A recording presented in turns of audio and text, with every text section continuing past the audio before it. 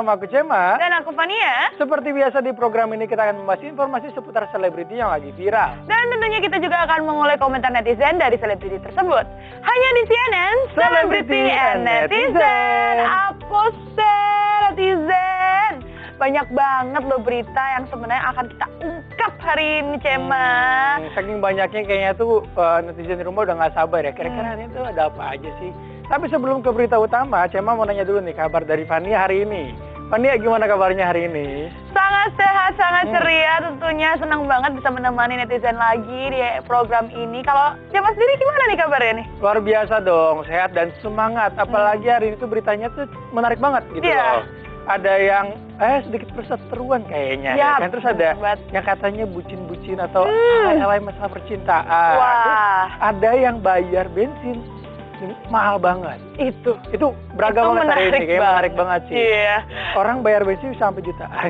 itu dia. Itu bensin Itu apa ya dia. sebenarnya ya? Itu Agak dia. membingungkan juga sih.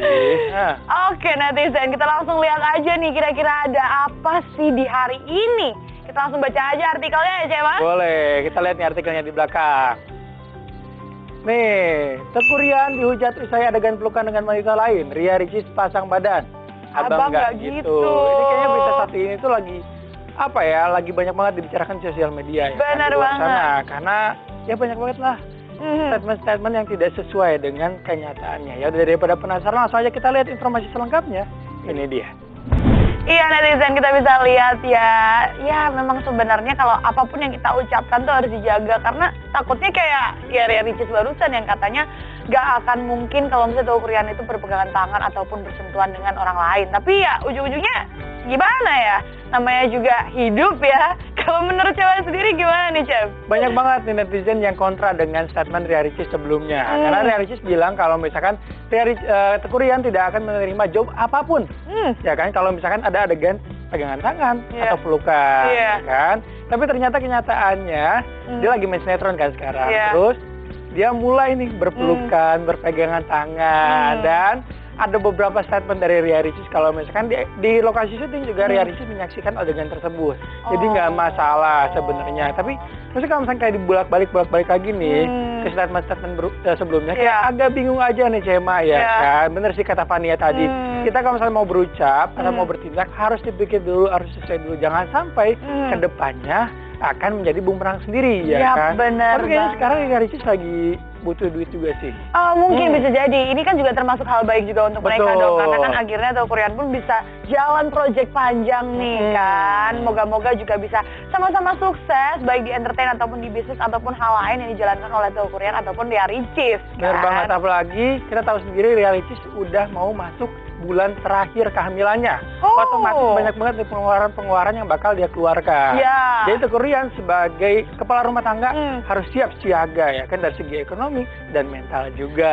Bener gitu. banget. Ya, Oke. hmm. Sehabis ini ya kita akan langsung lihat nih komentar netizen kira-kira menanggapi apa sih? ap- Apakah ada yang pro ataukah kontra menanggapi Ria Ricis yang akhirnya malah menyetujui itu Korean untuk bisa bekerja dan walaupun bersentuhan. Ya. Kita langsung lihat aja nih kira-kira ada dari siapa sih komentar pertama. Nih kita lihat nih komentar pertama datang dari Joy Oi. Dulu sebelum nikah ngelarang Ricis tiktokan. Setelah nikah malah se- malah sering tiktokan sama istrinya. Di per- dari pertama nggak suka ternyata pret juga. Waduh. Emang ya kita tahu sendiri nih kalau Hmm. satu Korea itu sebelumnya sempat nih melarang Ria Ricis untuk Hmm. eh, tiktokan atau misalnya di sosial media terlalu diumbar banget ya kan. Tapi ternyata sekarang Hmm. Teguh Rian sendiri menggeluti itu semua.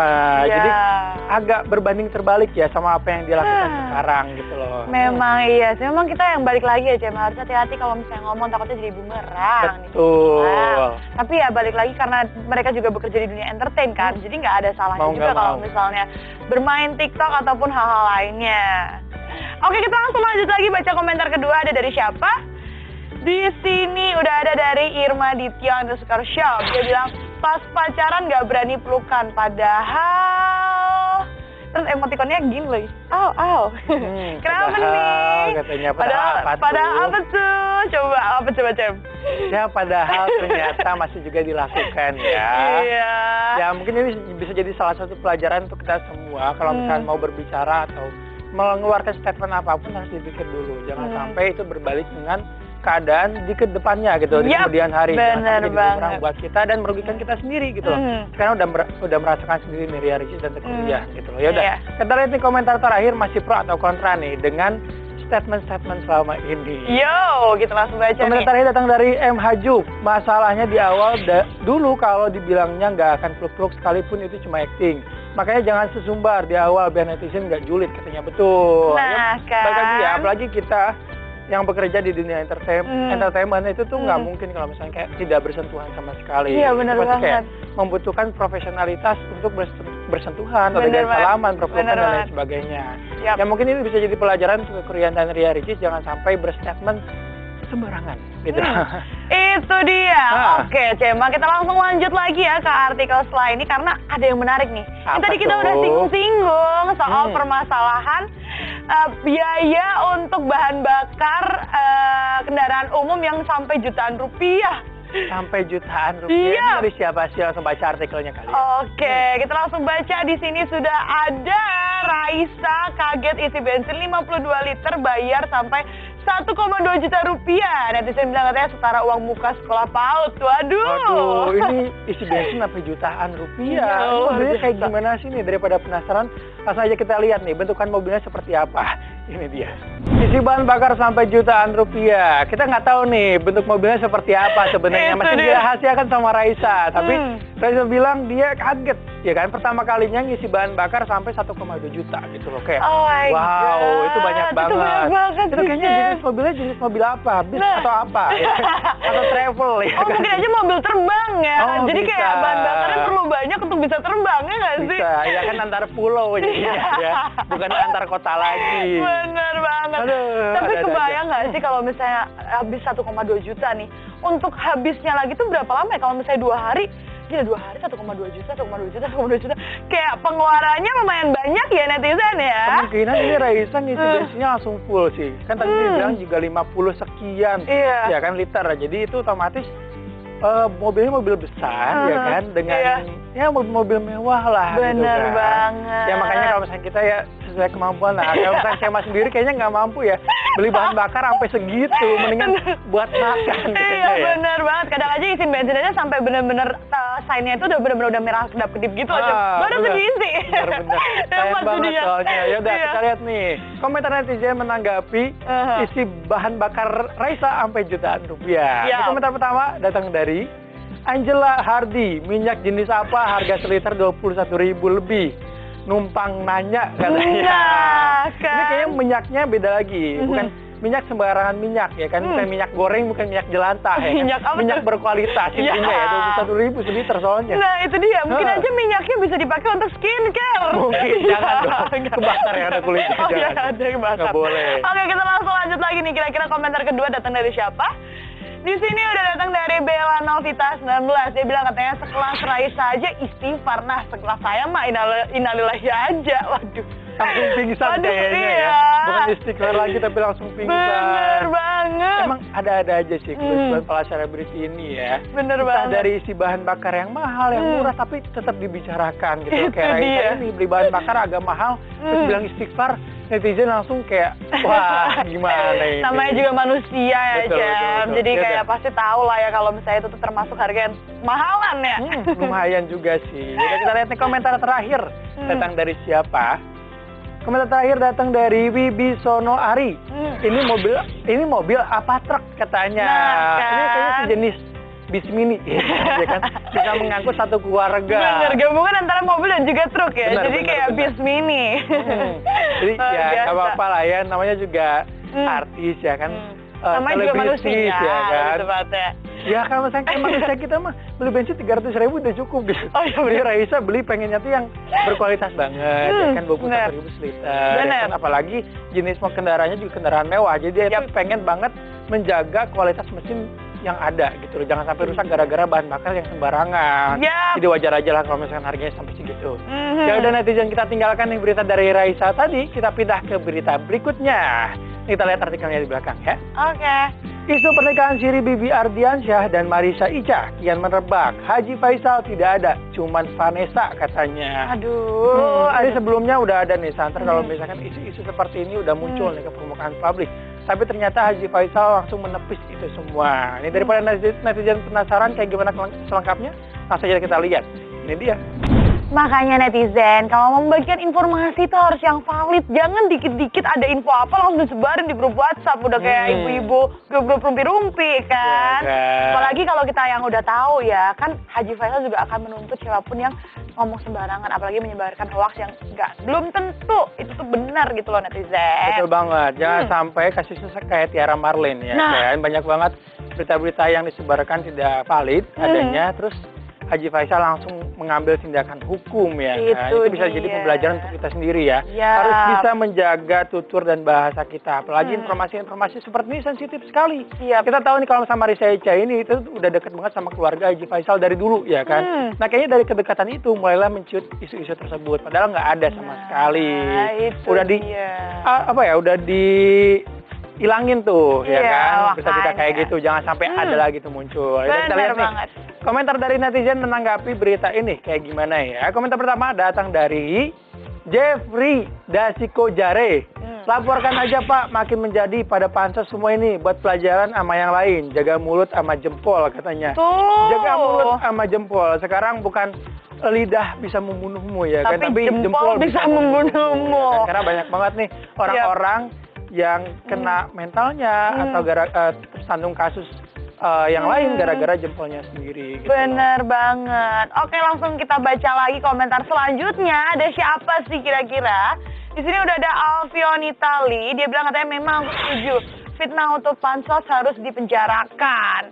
Bener banget makanya netizen ya tolong dong pansos itu tuh gak, gak perlu dilakuin lah sebenarnya masih ada hal lain yang bisa kita jadikan uh, misalnya kayak prestasi punya prestasi apa yang bisa dibanggakan di sosial media gak perlu harus pansos-pansos ke orang terus ya kan betul Jen? junjung prestasi hilangkan pansos ya, ya. kan udah kita lihat nih komentar terakhir mm -hmm. datang dari siapa dari Kiki Fatmala Gila banget bisa orang percaya mending masuk ke rumah sakit jiwa aja. Loh tahu kan Bibi cintanya bagaimana sama Vanessa. Nah. Betul sekali ya. Apalagi mereka tuh udah tenang di alam sana ya. Jangan sampai diungkit-ungkit lagi nih masalah-masalah seperti ini. Bener masalah banget. seperti itu bukan sesuatu hal yang bisa dibicarakan. Itu yep.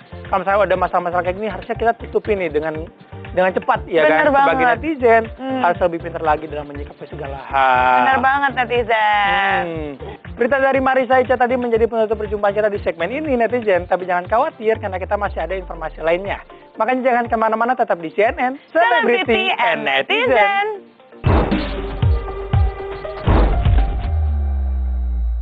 Kembali lagi di CNN, Celebrity and Netizen aduh netizen kalau ngomongin soal percintaan ya sebenarnya tuh nggak ada larangan. Orang-orang tuh harus dibatasi. Harus umur segini nih ngomongin cinta harus ngomong segini nih om ngomongin cinta. Sebenarnya nggak juga sih karena nggak ada hmm. salahnya kan sebenarnya.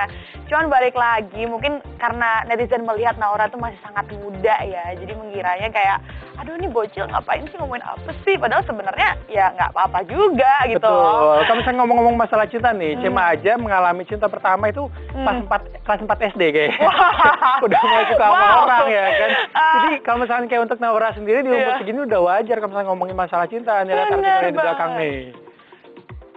Disebut bocil Naura Ayu ramai dihujat warganet usia bicarakan cinta. Usai bicarakan cinta. Gak pakai usia ya. Sorry. Emang okay. ya kalau misalnya kayak kita tuh sebagai netizen ya, kadang kalau hmm. misalkan lihat nih video-video yang beredar gitu kan, kalau misalnya ada anak kecil ya kan umur di bawah di bawah umur cinta-cintaan kita bilangnya kayak ih lucu ya kan Bener tapi giliran Naura yang udah beranjak remaja yang ngomongin masalah cinta dibilang bocil gimana sih netizen nggak bisa apa ya menempatkan dengan tepat gitu loh ada-ada aja. Oke, kita langsung baca aja komentar di belakang. Kira-kira pada menanggapi apa sih soal hmm. Naura ini? Oke, komentar pertama kita bisa baca uh, dari Nuri underscore Kartika Sari. Dia bilang katanya, kayak yang udah pakar ngomongin percintaan. Sebenarnya netizen gak ada salahnya dong kalau misalnya kita mau menanggapi apa pun. Karena ya namanya remaja kan, apalagi juga Naura lagi di masa remaja dan habis mengalami putus cinta juga dengan Devano gitu.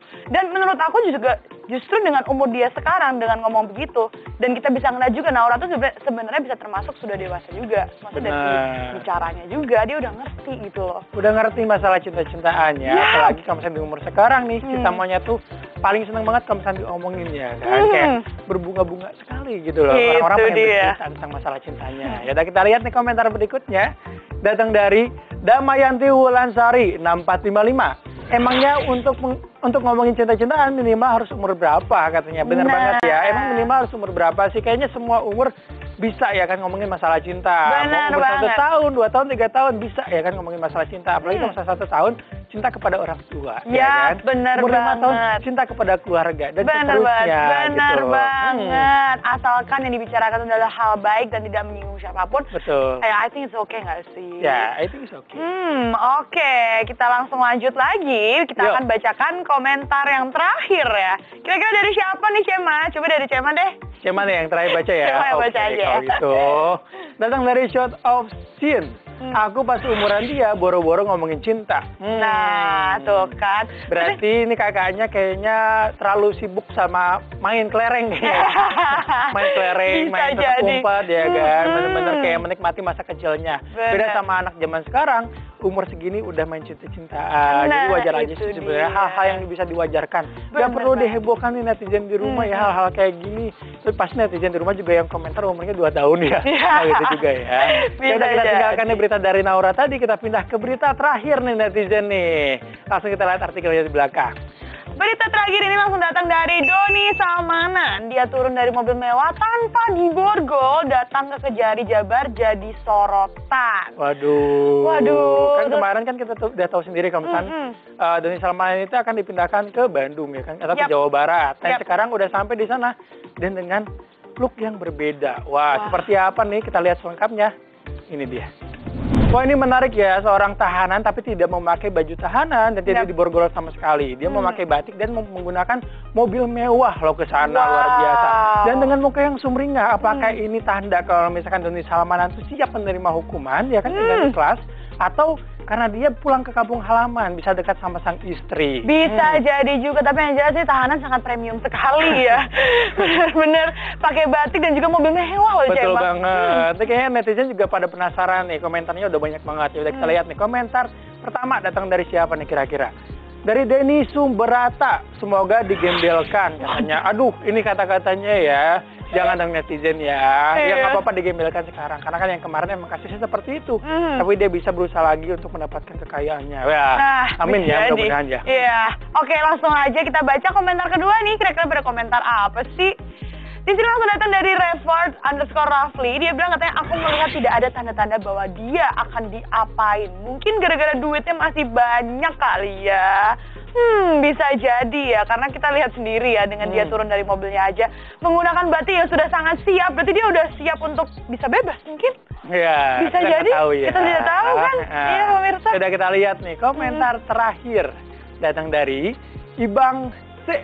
Mungkin karena dia pengertian dan sopan dalam memberikan amplop Waduh. katanya. Aduh, ini netizen kayaknya apa ya? Komentar hari ini pada pedas semua Pedas-pedas ya. Yang semua mudah-mudahan semua hukum yang ada di Indonesia bisa ditegakkan Adil. dengan adil ya kan dan hukuman dari Salmanan bisa setimpal dengan apa yang dia lakukan Yap, gitu loh. benar Hmm. banget. Dan berita dari Doni Salmanan ini juga menutup acara kita hari ini.